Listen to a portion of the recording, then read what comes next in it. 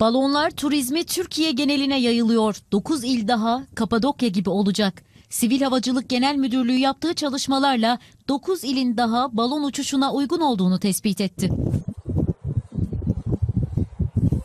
Burdur Bucak, Denizli Pamukkale, Adana Kozan, Bitlis Ahlat, Ankara Polatlı ile Afyonkarahisar İhsaniye, Eskişehir Seyit Gazi, Samsun Bafra ve Aksaray Ihlara'da sıcak hava balonları faaliyet gösterebilecek. Sivil Havacılık Genel Müdürlüğü tespit edilen bölgelerde şartları sağlayan Denizli Pamukkale'deki 5 işletmeye ruhsat verdi. 3 işletme ise gerekli şartları tamamlamak üzere ön izin aldı.